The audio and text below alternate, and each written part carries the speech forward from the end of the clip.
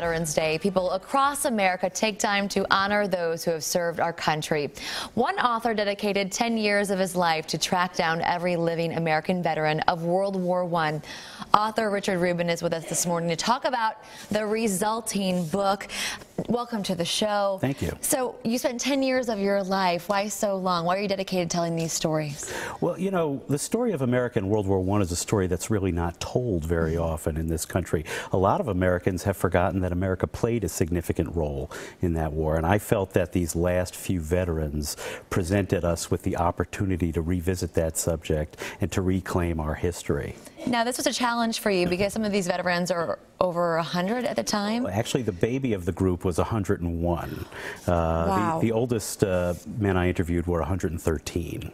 So they ranged, they averaged about 107 years old. Were they excited to share their experiences? You know, to my surprise, they really were. They were, um, you know, the thing you hear about veterans is that they don't like talking often about their experiences in combat. And so I was quite nervous about that setting out. But in fact, everybody I uh, came in contact with was not only willing to speak with me, but actually eager.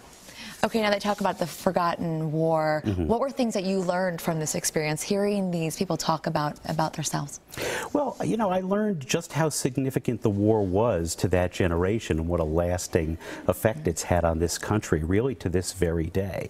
The America that we recognize, the America that we live in and enjoy, really is a product of what we did in World War One.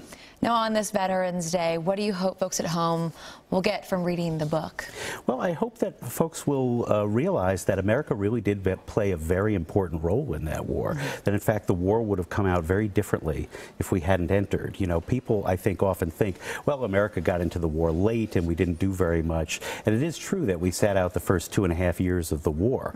But our contribution to that war, once we did get into it, was tremendously important. Were there any personal stories that really connected? connected with you?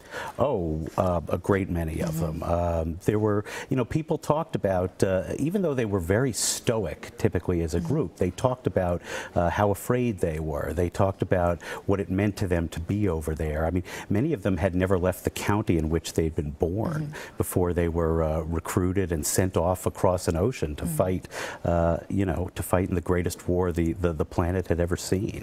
Now, any lessons from World War I that actually apply to today? Maybe that we should pay attention to our history?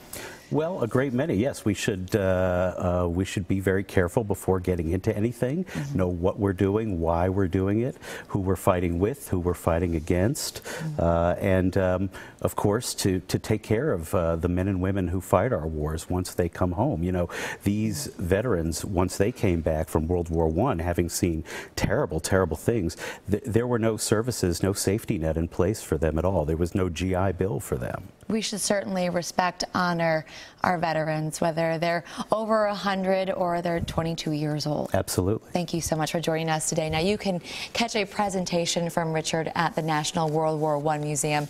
Today, it starts at 2.30 this afternoon, and it's free.